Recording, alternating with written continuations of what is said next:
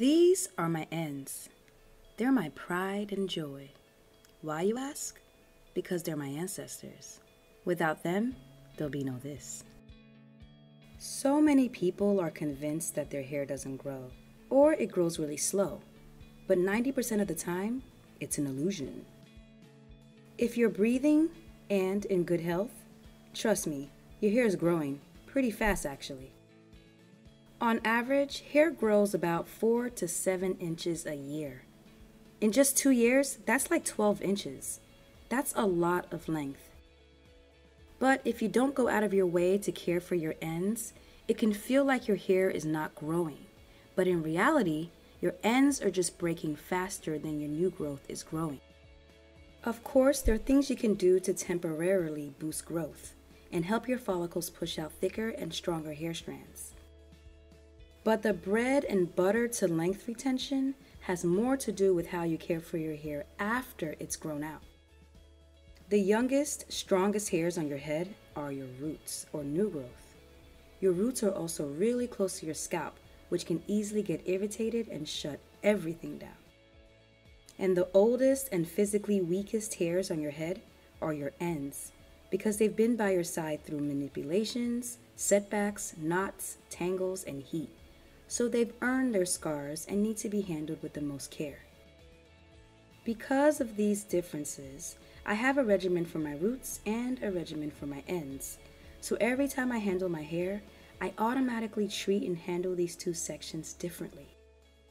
That sometimes means adding tension to my roots and no tension to my ends, or twisting my roots and coiling my ends or using heat on my roots and only cool blast my ends.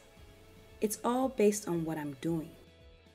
So for this video, I put together four things I do to keep my ends as full and healthy as possible. These are not set in stone and may look different based on your hair type and regimen. So what really matters is your mentality and understanding of your hair. Being natural is a true journey. Over the years, as my hair grew out, it changed. I started to notice that every time I wear my hair in a shrunken state, I would experience tons of breakage and get thousands of single strand knots all over, but mainly on my ends. These motherfuckers set me back for like a year. So if this sounds like you, I think it's important for me to show you exactly what's going on. Let's pretend this is a section of your hair. When it's wet, the water weighs it down and on a microscopic level reduces the friction between each hair strand, like a protective coat. Even with products, water evaporates and as your hair dries, it shrinks. On the surface, it looks like all your hair strands are shrinking together at the same rate. But if you take a closer look, each hair strand is shrinking at different rates. Each bend and twist acts like a spring going in different directions. And as they shrink, they wrap around each other, knot up, and create friction and tangles. This is more dramatic for hair types like mine. At this stage of my journey, in order to retain length, I found that keeping my hair stretched solves this problem. So if you're overwhelmed with knots and you're having a hard time retaining length, try stretching your hair. That should do the trick. Below are links to videos where I show you my complete heat and stretch regimen with tons of detail.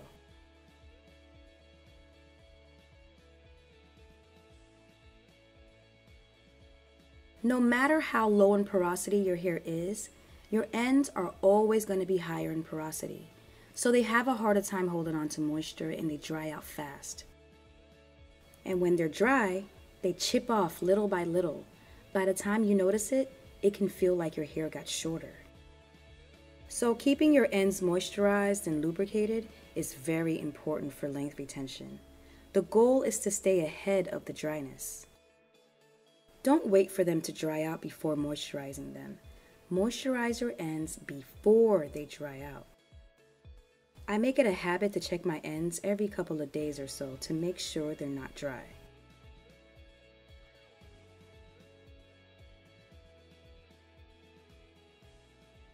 At the end of the day, your ends will naturally weather and thin out. The best you can do is slow down the rate of damage so you can retain as much length as possible. Trims are a personal decision. I personally don't like holding on to ends that are dramatically weathered, so I trim off about a fourth of an inch three times a year, and I dust funky looking ends often. It's perfectly okay to just dust your ends. You don't have to get full blown trims. The lower maintenance you are with your hair, the less you have to trim. Below are links to videos where I go over split ends in more detail and why our ends have a different texture than the rest of our hair.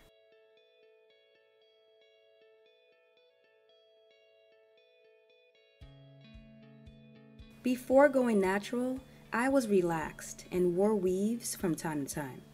Being gentle with my hair was not a priority. Now that I'm natural, through trial and error, I've learned that less is more. It took me some time to unlearn and relearn how to handle my hair. And to be honest, it's made a huge difference. You can stretch your hair, keep your ends moisturized, get trims all you want, but the fact remains the same. Your ends are fragile and will thin all the way out if you're heavy handed or mess with them too much. What helped me the most is to think of my ends as a separate section from the rest of my hair. So every time I handle my hair, I automatically think of my ends as a separate fragile object. Because of that, I either skip my ends or deliberately handle them with more care.